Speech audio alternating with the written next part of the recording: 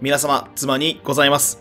それでは、こたびも信長の野望大使、引き続きやってまいりましょう。さあ、滅んだのは、肝付。肝付も厳しいよなすぐに滅ぶイメージあるよね。さあ、相馬中村、取り付き。朝廷、な、どのタイミングで来たこの人？はい、えーっと、まあ、消毒しましょう。すごいタイミングで来たね、この人ね。えー、まあ、自動夫人の強行61日。いいでしょう。でも2ヶ月か。結構かかるね。さあ、理不上取り付き。包囲で、43日。交渉しちゃおう。いきます。これで交渉で会長してくれたらね、すごくありがたいよね。さあ、あ、ぶつからない。交渉。直江影綱、行こうか。えー、全面開放で、どうだ？ああ、ダメか。講和会長する気はないからね。だったら、落ちてもらいましょうか。さあ、激突、揺るがず。いいね。まさか出てくるとは思わなかったらちょっとびっくりしたけど、まあまあよかった、揺るがずで。やりました。これで松並取れるかな、すって。どうだろう。取れろいや、そっちかい。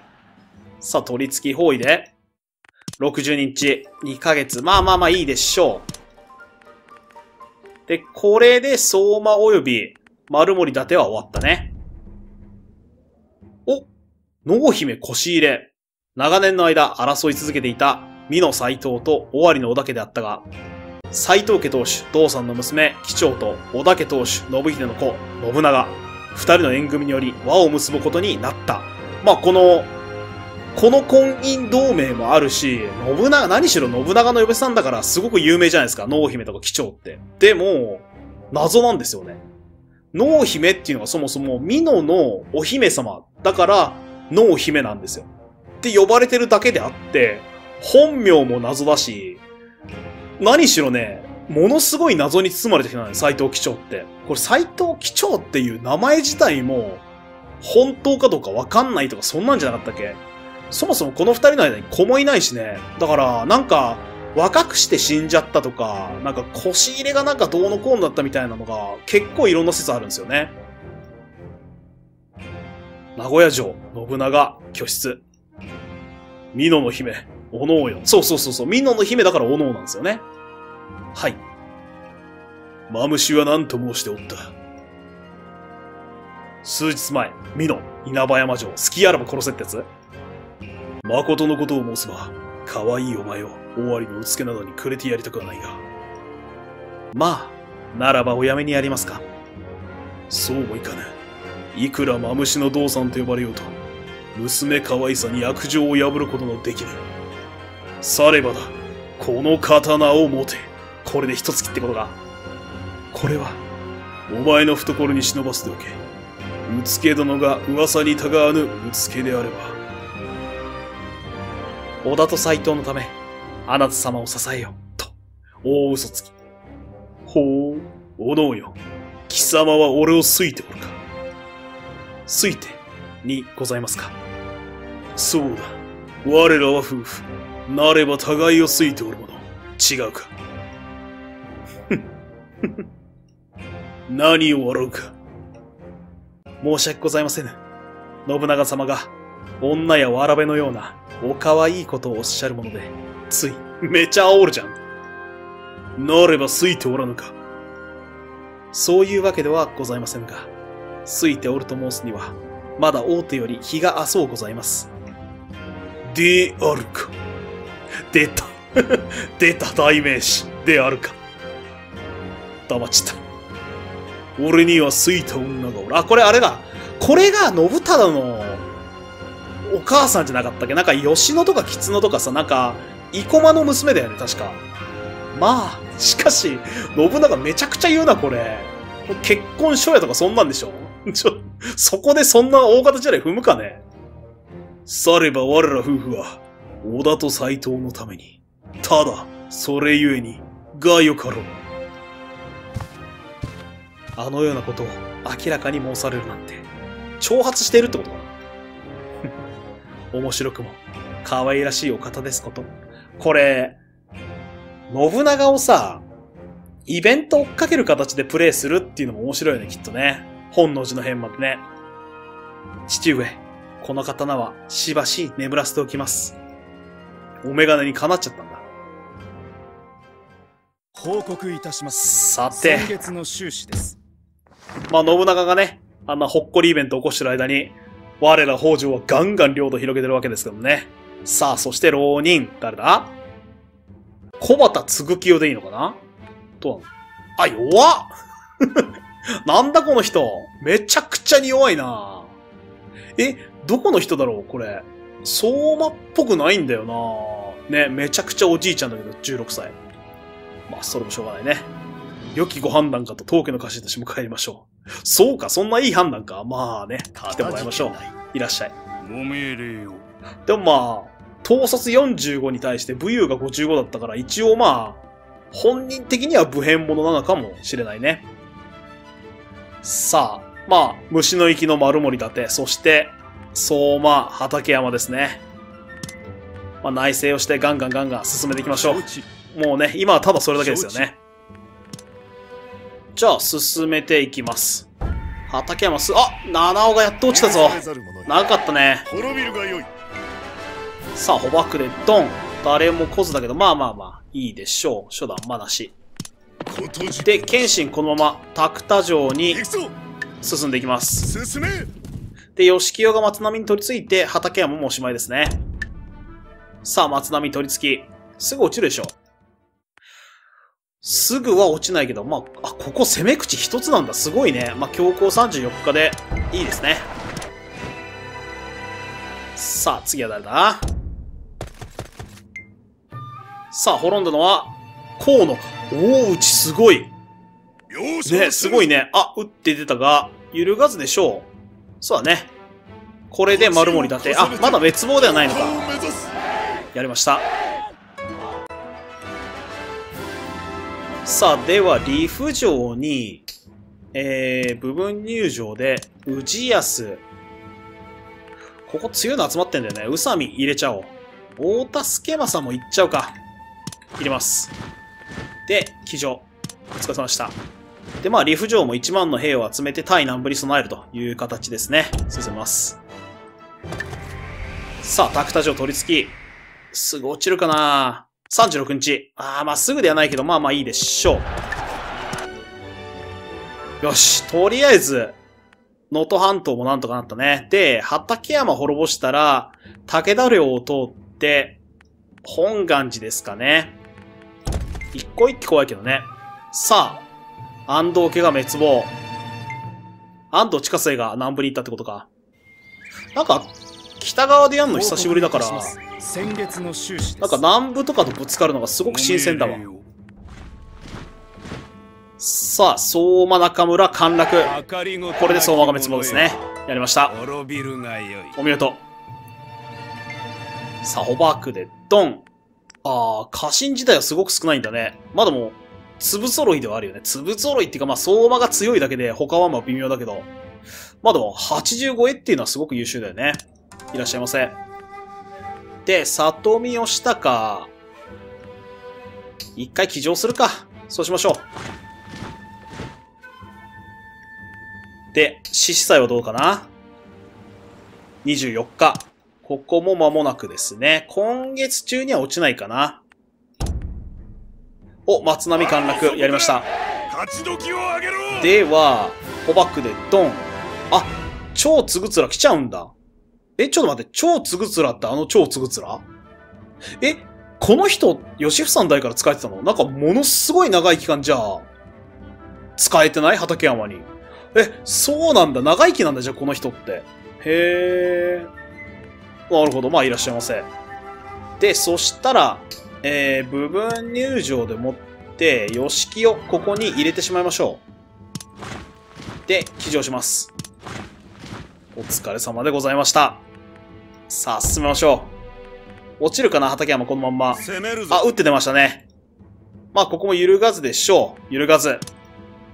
で、破れし者は丸森伊達が滅亡ですね。やりました。さあ、そして、捕獲で、ドン。まあ、伊達種宗は強いよね。91、72、96、98、106。まあ、うつろだからね。うつろの名手だから106あっても当然っちゃ当然だよね。と、渡り元宗が強い。てか、80超えが4人もいるって、すごいね。うーん、なるほど。あ、矢菓子は道ためか。黒川春氏。黒川春氏ってなんか、今一つパッとしないけどさ、すごく強いよね。酒延べなんかいいんじゃん。酒延べはでも、この酒延べの息子が強い酒延べなんかな。なんか酒延べって、もっと強いイメージあるんだよね。えー、あ、伊達実元だ。伊達実元。おー、なるほどね。まあ、あとは、あ、遠藤元信か。外交の遠藤だよね。この人も強いよね。なるほど。まあ、いらっしゃいませ。えー、そしたら、ここも部分入場させるか。獅子祭と時をとりあえず入れときましょう。で、残りは騎乗。で、丸森も、この次のターンで整えて、いよいよ対南部といったところですかね。柿崎まだ生きてんだね。いや、これでも、すごくはっきりしたね。南部対北条ってね。まあ、こっちはだいぶ混沌としてますけど、まあ、西側は武田の隙間をこう縫ってね、ガンガンガンガン精進していくっていう感じですかね。それじゃあ進めていって、畠山落とせるかなあ落ちたよしよしよし。畠山滅亡やりました。で、畠山義房が来るよね。おバックで、ドン。うん、畠山義房だけが図抜けて強いね。外星100個なんだ、この人も。へえ。100超えってやっぱすごいよな。やりました。で、本、あー本願寺もなかなかでかいね。このままいけるんだったら、謙信の軍でもって、本願寺攻めちゃおうかなって思ったんですけど、そうか。じゃあ、まあ、ここも部分入場ですかね。部分入場でもって、長野成政と小太郎を入れましょう。で、七尾城に影虎とか、一回まあ騎乗させて、で、七尾城に主力移動させて、ここの三つの城と富山城でもって、まあ、2万規模の軍を出せるようにして、本願寺を攻めるっていう感じですかね。まあ、とりあえず、戦、ひとまず全部終わりましたね。松平家滅亡。これ、広忠が家臣に殺されるイベントかな駿河今川館。吉本様、お耳に入れた聞きが。聞かせてくれ。松平広忠が出資したようにございます。あ、そうだ、やっぱり。安倍なんちゃらだって確かね。む、そうか。それは、直ちに岡崎に兵を入れるといたしましょう。なんかこれだけ聞いてるとさ、あの、体現切裁の陰謀っぽいけど、じゃなくてこれ、織田信秀の策略かなんかじゃなかったっけ？やれやれ、全く坊主の言葉とは思えぬの。今は下手人探しをしているいとまはありませぬ。何？やはり広忠は何者かの手にかかったと。そこまではわかりかねます。三河より病で出資したとだけ知らせが。ああ、なんか怪しいなこれ体現切裁黒幕説ありますかねさようか。我が死でも知り得ぬこと。思い悩んでもせんなきことでの。よかろう。兵を出せ。織田に先んじて岡崎を抑えるのだ。こうして、当主広忠の死により、三河の支配力を失った松平家は、今川家に吸収される形になった。これにより、いよいよ織田家は隣国として、今川家の圧力を直接受けることになった。桶狭間に向かってますね、歴史は。ちょっと干ばつ起きすぎでは。干ばつはまだ、第一段階なんだよなそうなんだよね。痛手が抑えられるだけなんだよな。いや、盛大に被害食らったぞ、これ。痛。え。痛すぎだ、これは。表情さあ、表。情。策がございます。都市空間。えー、まあ、農軍のまんまかな。対面欲しいけどね。さあ、光ったのは獅子祭。獅子祭、氏康、柿崎かな？あ、これで対面120いくね。これにて表情をじゃあ、ここ。で、農業ポイント抑えめでいけば、五穀豊穣がぶっ放せるね。コニダ大会欲しいな。取っちゃおう。あとは足軽徴用取ってもな。うーん、一応取っとくか。以上。これで、あ、本願寺隣国扱いなの？これ。あ、そうなんだ。え、隣国じゃなくね？これ。ちょっと待って。隣国の概念とはいかに？え、そしたらこれ一個一気打ってくんじゃん。じゃ、早いとこ、本願寺攻めなきゃ。さて、それでは、落とした能登半島だね。ここに武将と兵を入れていきましょう。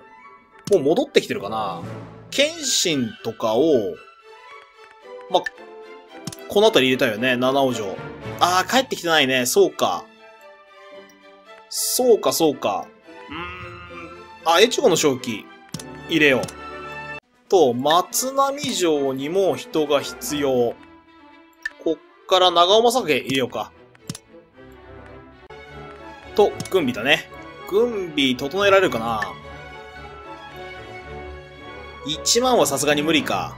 じゃあ、集められるだけ集めていきましょう。で、武田領を通って、本願寺を攻撃しちゃいたいんですよね。本願寺を攻撃して、まあ、この小山ごぼう大正寺城を取ってしまって、隣国じゃなくしたいんですよ。じゃないと、一向一揆が飛んでき始めるんですよね。なんでまあ、それを避けるために、さっさと、まあ、少なくとも、この2条は落として、ちょ、待ってよ。これ嫌な予感する。っていうのは、武田と本願寺って結んでんじゃなかったっけ？そうだよね。これ武田と本願寺、同盟だよね。これ、同盟と婚姻だと、婚姻の方が強い結びつきなんだけど、多分、AI 的には、これで例えばうちが本願寺に宣戦布告すると武田向こう行くと思うんですよ。なので本願寺はダメだ。本願寺は、外交ですわ。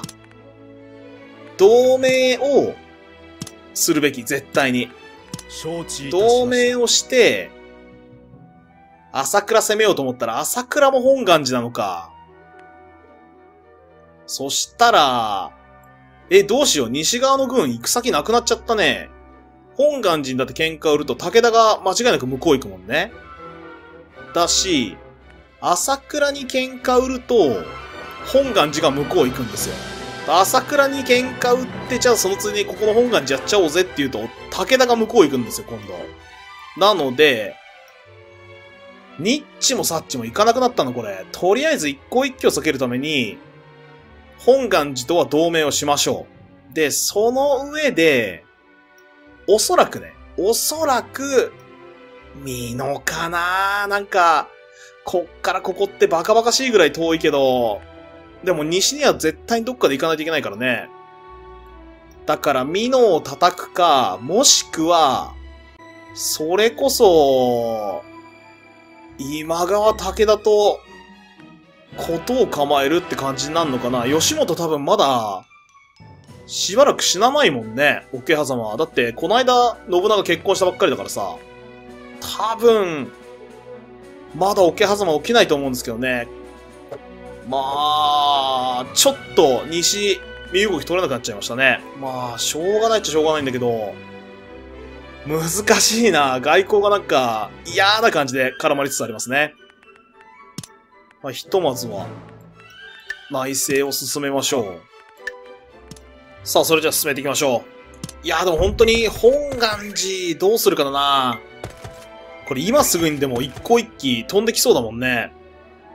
長尾坂毛が病。報告いたすまあまあまあ。名前もよく知らん部署なんで大丈夫でしょう。いや、本当に、本当に困る。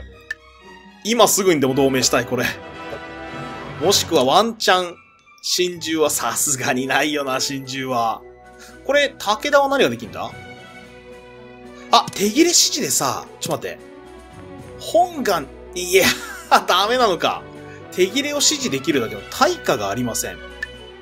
対価がありませんっていうのはこれが足りてないってこと？敵でいまいちよくわからんな。うーん。参った。これは本当にでも参った。朝倉とはそもそも結んでないしね。いや、武田と本願寺の中避けたらよかったんだけど、そうか、できないか。参ったなあ、そうだ、あと、対名でもって、五穀豊穣発動しましょう。これ大事よね。穏やかなる暮らしを守る。で、それが進めます。北条の役目よ。いや、頼む。本願寺来んなよ。やめろよ。落ち着け、落ち着け。よし。よしよしよしよし。い、ん？佐竹義康が病を患った。本願寺と通称結びます。本願寺さん、仲良くしましょう。始めましょう。これも攻められないか？攻められそうな気がする。まずは、この、ここで真っ二つになって、明星、利府城、渡り丸森、相馬中村とかから、東の軍、マブロ、鶴岡、八千から、西側の軍みたいな感じで動かしてみようか。なので、ちょっと早いかな早いけど、でもいけそうな感じするんだよね。いけそうな感じするんだったらいかにはダメでしょ。南部に宣戦布告します。大義は我らにあり。今川、わしが武田こっちだよね。本当は本願寺にも喧嘩売りたいんだけどね。絶対武田と切れるもんな。だできないよね。で、南部どこを攻めるかって話なんですけど、寺池。あ、出てくる予想か。25,800が出てくるんだったら、上限でかいところで叩きたい。ちょっと、一沢か？で、横で3、待って。横で3万だけど、増田の地で激突することになってるね。いや、でもこれ多分フェイクだと思う。これは多分、実際にじゃあ4万規模の軍を動かしたら、横手にこもる構えになると思う。もしくは横手で決戦になると思うので、伊沢、つきますか？伊沢もでも、この辺りのちっちゃいところで戦になると怖いね。んなので、一ノ関経由で伊沢に向かうことにしましょう。では編成しましょう。で、ここで4万動かすか。ちょっと兵力の不均衡起きてるの気になるけど、まあ、どうだろうな。ここは他のもいないもんね。ちょっと兵力の不均衡気になるけど、じゃあこれで4万で出しましょう。えー、イサーに向けて、65日もかかんだ。いや、まあ大丈夫でしょう。進軍します。す。ここに、2万5千が集まってるね。まあ、だから本当に、こういう戦場上下のちっちゃいところで戦わないように気をつけなくちゃダメだね。で、さらにさ、いや、この形だったら西も動かしてしまおう。えー、横手に向かいます。串松なしげね。戦予想。まあ、1万3000の3万だったらね、余裕だよね。いきます。では、進めましょう。本当でもここだよね、気をつけなくちゃいけないのは。どうなるかな病にはさあ、竹吉康がここに亡くなったか。これ、そしたら、ちょっと富山城をチェックしなくちゃダメだね。富山城の主力が、佐竹義康だったもんね。誰か入れたかな強いの。さあ、まずは表情。あ、対名考案だ。これ、対名ポイントさ、結構苦しいから、欲しいね。そしたら、軍論で行きましょう。あずいぶんガラリとメンツが変わったね。光れ光らずか。氏康、謙信、まあ、柿崎かな。これにて表情を終えるぞこれ欲しいね。平坦管理。これが、あ、ちょっと待って、なんかある。遠路、あ、遠路工具にしよう。剣伝令も捨てがたいけど、遠路工具にしよう。あ、そうか、同盟あと何ヶ月ところで。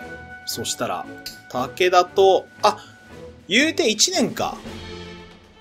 1年か。じゃあちょっと1年我慢しよう。1年我慢して、切れた瞬間に本願寺、なだれ込むということにしましょう。だから、同盟をするにしても、6ヶ月同盟だね。やるにしても。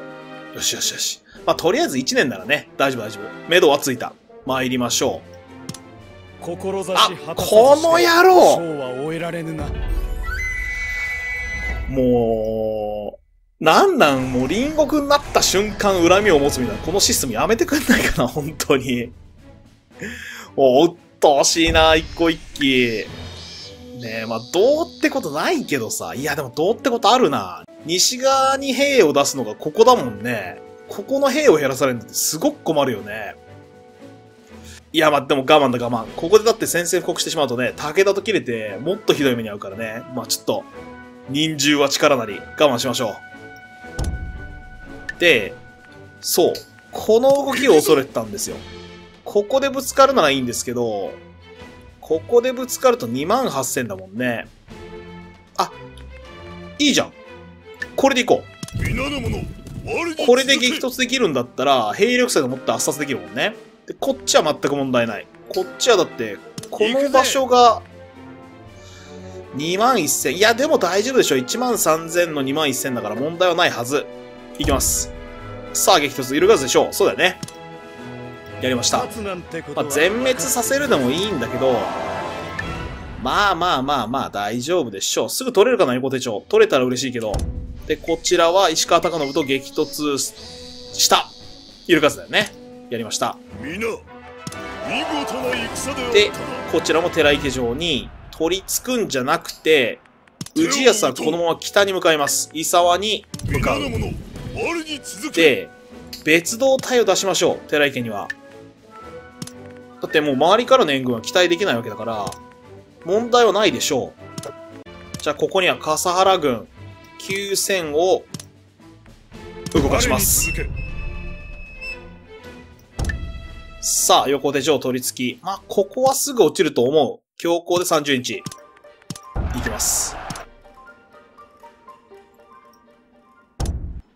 お、キリスト教伝来、ヤジロウとフランシスコ・ザビエルだね。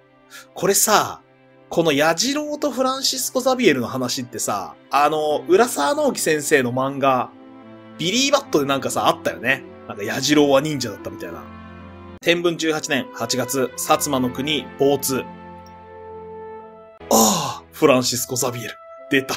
フランシスコ・ハゲ。主なる神よ。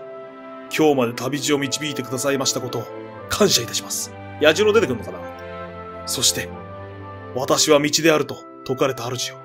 今、私たちに行くべき道を示してください。これ主というよりも主の方が多分しっくりくるね。イエズス会に所属する宣教師、フランシスコ・ザビエルが、数人の宣教師と旅の途中で出会った日本人、ヤジロウを連れて、初めて日本に上陸した。これ、ヤジロウと出会ったのって、マニラとかあの辺なんだよね、確かね。こうして日本にキリスト教が伝わり、ザビエルたちの布教活動が始まるのだった。これね、いろんな悲劇がこっから始まることにもなるんですよね。以上なんだ。意外とあっさりとしたイベントだ。おキリシタン保護の志。大友総理、世は乱れておる。それはなぜか。皆、好き勝手な志を抱くがゆえのこと。それはだってしょうがないよね。すべての者が、志を同じくすれば世は変わる。わしらが志すべき世は、デウスの導きの先にある。キリシタンを守り、新たなる王国を起こすのだ。とは言ってもなんか大友宗麟って晩年は、仏教に帰依してキリシタンをむしろ、排する方向になったのか、なんかこの人も結構やってることめちゃくちゃだもんね。酒に溺れたりさ、女に溺れたりね。あ、終わった。なんなんだこのイベント。兵糧ちょっと苦しいかな。あ、でも8月か。大丈夫だね。しかも五穀豊穣も発動してるしね。問題はないでしょう。で、多分、あー北から兵動かすかなと思ったけど、意外と、南部も兵力苦しいんだね。これ南部多分このままいけるな、一気に。だから問題は本当に、あのハゲどもだけだ。こいつら、本願寺。もう、なんなん本当に、この人ら。ちょ、同盟今すぐしよう。もう一個一気やめて。本当に。さあ、ということで、北の覇権をかけ、ついに南部家と戦が始まりました。そして、西、本願寺との外交はいかに？といったところで、今宵はここまでにいたしとござりまする。この動画楽しんでいただけましたら、高評価、チャンネル登録の方よろしくお願いいたします。ご視聴ありがとうございました。